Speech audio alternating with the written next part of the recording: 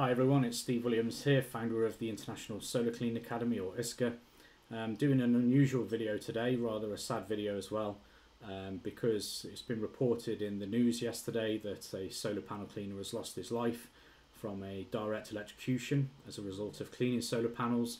So I'm just going to read to you all a very short news article um, which really highlights and flags to all of us the need for training, the need for electrical PPE while we're carrying out our day-to-day work.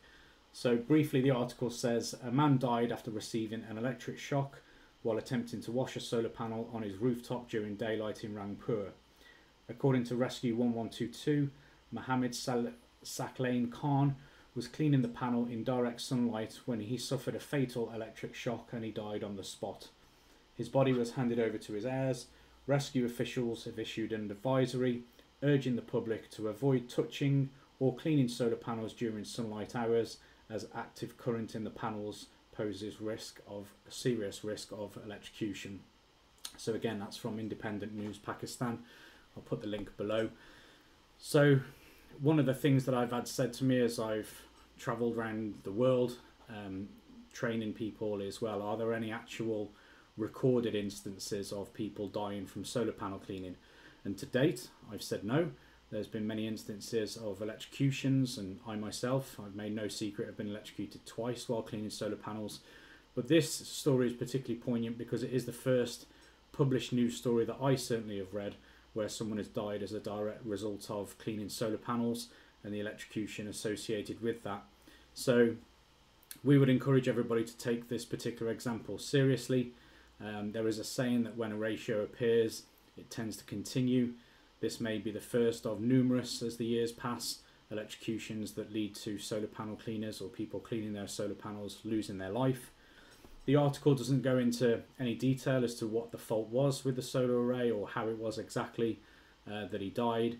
But as we know, there are multiple points on a solar array that can lead to electrocution.